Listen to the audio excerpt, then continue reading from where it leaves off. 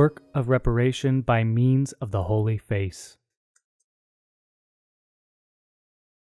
This work has, for its main object, the reparation of blasphemies and the reparation of the holy day of Sunday, profaned by secular labor in consequence.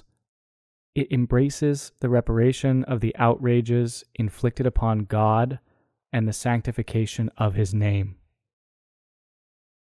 Ought the devotion to the Holy Face to be united to this work?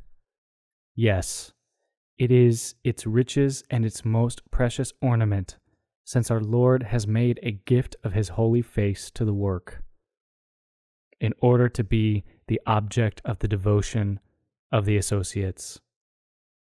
They become all powerful with God through the offering which they ought to make to Him of this august and holy face, the presence of which is so agreeable to Him that it infallibly appeases His anger and attracts His infinite mercy upon poor sinners.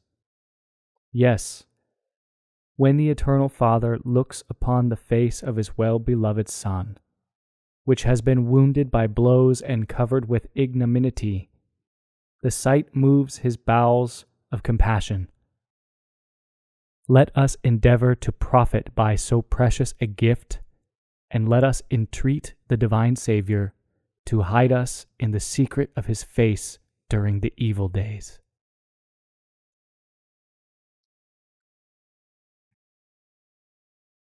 Why the holy face is the visible sign of reparation. The august face offered to our adorations is the ineffable mirror of the divine perfections, perfections which are contained and expressed in the most holy name of God.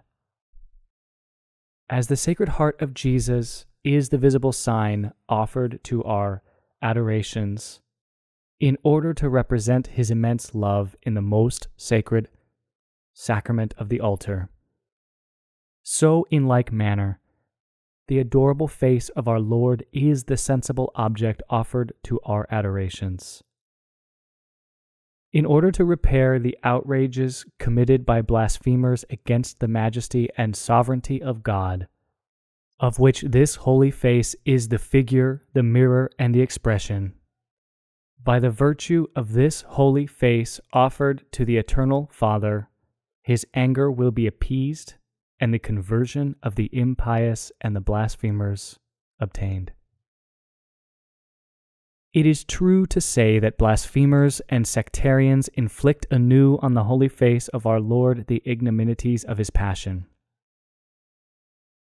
The impious, who utter evil words and blaspheme the name of God, spit in the face of the Saviour and cover it with mud, whilst all the blows which sectarians give the Church and to religion are the renewal of the numberless blows inflicted on the face of our Lord, and which cause the divine face to sweat afresh, because impious men strive to annihilate the fruit of his labors.